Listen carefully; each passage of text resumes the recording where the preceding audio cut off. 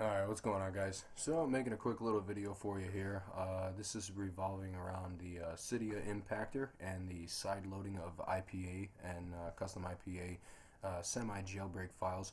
Uh, Cydia Impactor has been updated to this version right here, 0.9.44. You can get this file at cydiaimpactor.com, uh, uh, but I will also have a, my own link down in the description below if you just want to snag it there real quick.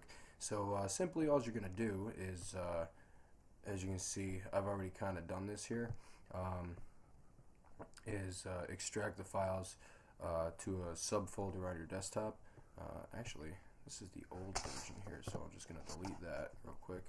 And Oh, there's the new version. Ta-da! Alright, so I've already extracted this to my desktop 0944 into a folder. Well, how do you do that? Uh, you can either A, right click on this file, and I believe it's actually a zip file. Yeah, it is a zip file. So you can right click on the file and uh, you can extract uh, to Impactor 0.944. Uh, that will extract it immediately to your desktop if you select that.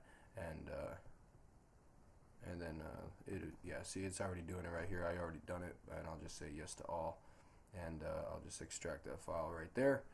And that's pretty much it. That's how you install the impactor and then all you're going to do is open up that folder leave everything the same and double click and run impactor.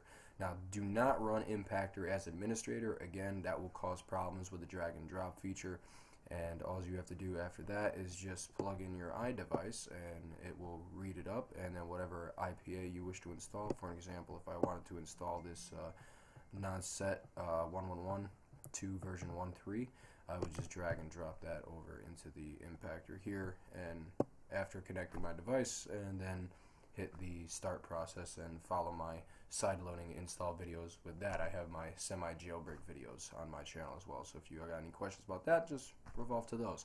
So thanks for watching. Here's a little update. The Cydia impactor again and the link will be in the description below. Remember just right click and extract those files to your desktop to keep it organized for you and I'll talk to you guys later. See ya